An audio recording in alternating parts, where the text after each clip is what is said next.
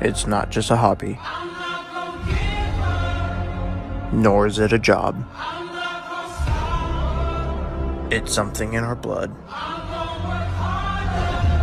And that's what keeps us going season after season.